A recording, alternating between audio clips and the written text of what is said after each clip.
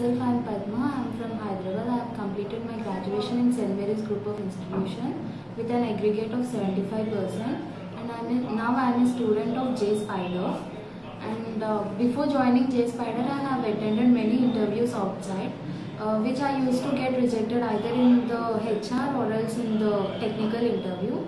After coming here, I got the enough knowledge of technical and not only in the technical how to present all those things um, all the technical in front of the technical team leader etc uh, yeah, and uh, coming here uh, the presentation over here helped me a lot uh, to speak in front of everyone and the stage fear everything